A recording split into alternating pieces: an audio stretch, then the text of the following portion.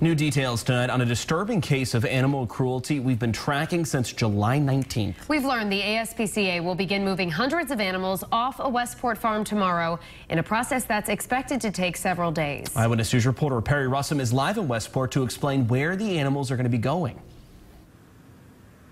We're being told that these animals are going to a temporary shelter in the next few days. We are not being told where they are exactly going, but we're told it is close by. Happening right now behind me, the town's Board of Selectmen are meeting in executive session.